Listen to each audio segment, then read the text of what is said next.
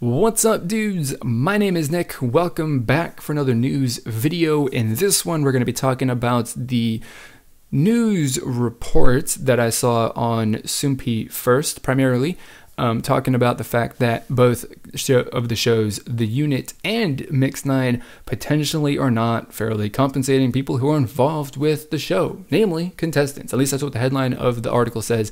But uh, there are other people who are associated with those shows who are somewhat affected. So, get it started just a little bit of the rundown of the allegations and the complaints that people are leveling against both of the shows. First off, for Mixnine, contestants haven't gotten paid yet, apparently, and they don't even know how much they will receive because there is not a set amount of compensation for each of the contestants for each episode that they participate in, which is obviously very, which, you know, you would be concerned about that.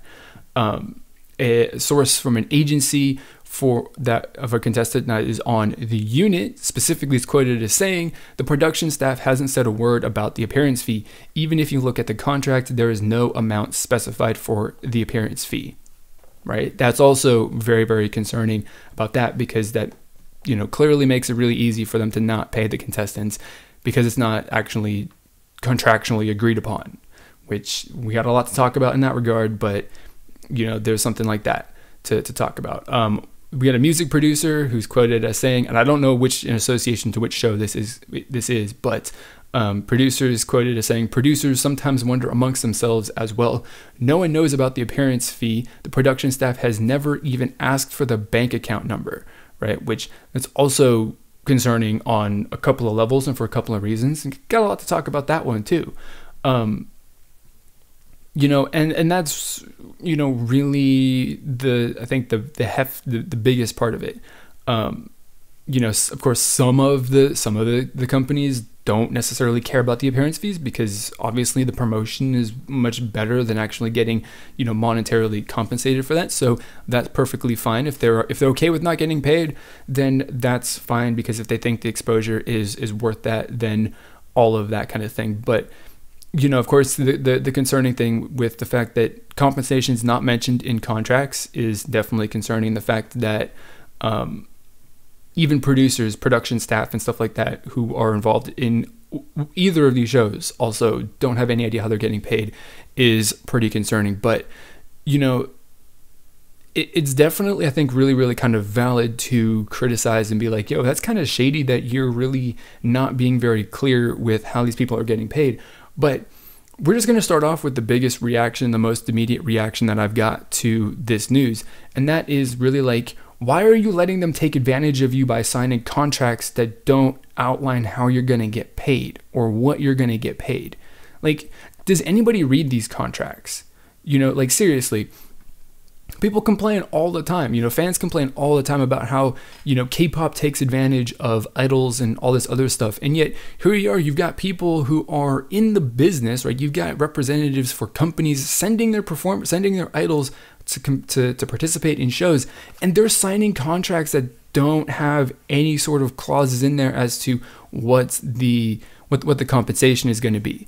Like you know, going going back to the producers of like the production staff have never asked for the bank account number. Like you would think that when you read your contract and you don't see like a bank account number specified in there, or you don't see any sort of language in there that kind of says like, "Hey, we're gonna pay you out of this bank account on this day," you know, blah. There's nothing that explains any of that. Like you wouldn't ask a question before you sign that contract. Like you just blindly sign the contract, and then you're like, "Oh, hold on a second.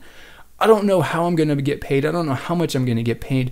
This is concerning. Like, I'm sorry, but that's your fault that you're not getting paid, you know, because you signed a bad contract, you know, and it, it, I know it's really, really shitty to, to be like, you know, it sucks to like not read your contract and let yourself get taken advantage of like that. I know it's really kind of cold hearted, but you know, you're in, you're in business. Like it, it, this is the way things go. You should know this, especially if you're working in within the K-pop industry. Like you should know that things are shady and you have got to stand up for yourself a little bit as best you can to get yourself the best deal. Like YG Entertainment or or Uh, who's who's doing the unit? Is it Mnet? Uh, somebody like that. They're always gonna go like they're always the first contract that they're gonna send you. Like, and this is like this applies for like any business deal. The first contract that somebody sends you is going to be something that is going to get the most return for the company who sends that contract, right? And it's up to the person who is going to sign that contract to read it and either accept it or reject it, and also negotiate that contract. And if you don't if you don't look at your contract and you don't read the contract and you don't negotiate the contract for things, you know, to kind of improve areas that you don't like to make them more in your favor, then I'm sorry, but that's pretty dumb. That's really really dumb. And so I don't I mean like if if you sign a contract and, and then you complain that you're not getting paid because it doesn't say in the contract that you're going to get paid, then I don't really think that you have much of a much grounds to to stand on or really you don't have any you don't have much backing to complain about that because it's solely your fault. You let yourself get taken advantage of because you signed that contract. End of story. Now is it shady and is it bad that you know YG Entertainment and I'm gonna say Mnet are, are the ones sending out those contracts that don't actually say anything about who's getting paid and how you're getting paid? Absolutely, it is. And that's definitely something that should be changed and should be kind of regulated potentially or or something like that needs to be done to kind of ensure that people who are that you know idols and contestants of these shows in particular you know are getting compensated for their time you know and this applies to anything that idols do whether they're making radio show appearances or appearing on you know music shows or you know whatever it is that they need to do that is like outside of their contractual obligations to their company because of their you know all of that kind of stuff then they need to be you know adequately compensated for that um, but when it comes to people who are making these decisions, who know how all this works, I would hope, um, and they read these contracts and they say, yep, that's perfectly fine. That doesn't say anything about how we're getting paid and all that stuff, then that kind of sucks. But there shouldn't be contracts that lack that you know, that that um, that language to to begin with. I don't. I think that it should be required, which is going to be kind of hard to do that. I think, but it should be required to actually your your your initial contract should always have you know methods of payment and amounts that you're going to get compensated. It should be required. And you know the fact that it's not it obviously i think is a really bad thing and should be kind of changed and worked to improve but it's not going to improve. Going back to kind of what i just ranted on previously if companies blindly sign these contracts not really caring about compensation. Um, you know, and and I get the whole, you know, going going back to the to the to the um, you know, example of of, of companies who don't care about the appearance fee. So let's quote. Let's read this quote because this is this is glorious. Um, quote from uh, one of the agencies says the appearance fee, fee was not our goal from the beginning. Honestly, we are not sure if it's true or not about the appearance fee. We didn't even pay attention to that part of the contract you didn't even pay attention to that part of the contract. Like, who doesn't read the contract, especially when you're entering a business deal, who doesn't read the contract from start to finish, who doesn't get lawyers to read your contract from start to finish so that they can point out stuff that, you know, maybe you can't understand from all of the, you know, legal talk that's included in that contract. Who does that? That's just absolutely horrid business right there. Like I cannot believe that that is actually a thing. Like I really can't. You know, and it honestly upsets me a little bit to that these are the people that are representing idols and that you know the idols aren't the ones that are that are reading these contracts and signing off on it it's the companies that are doing that so it's stupid and then of course you know again going going back to all this stuff why wouldn't you want compensation for that? I mean, I don't understand why you wouldn't get wouldn't necessarily want like a little bit of compensation even if it's just something that's like we're going to cover costs of you know having of sending you're gonna just pay for the gas money that it's gonna cost cost us to drive our idol to your studio to you know to, to do this. Like even if it's 50 bucks because they're staying in dorms at YG uh, like it doesn't matter. I would be like cover costs at the very least. It, it's just this this whole story is like absolutely baffling to me on like a couple of levels. First off which makes sense to me because you know business is cutthroat and you know you're trying to take advantage of everyone that you possibly can um, you know but i don't understand why they wouldn't kind of you know try and treat people nicely because if you if you treat people like shit then they're going to be less likely to work with you in the future.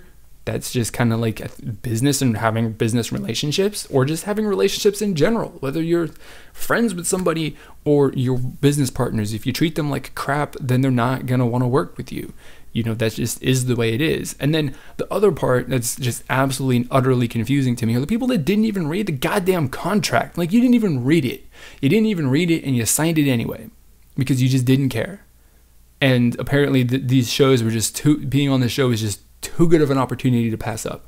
Like it, it's it's a fucking disaster and a train wreck on on multiple levels. This this whole thing, to be completely honest, it's it's absolutely ridiculous.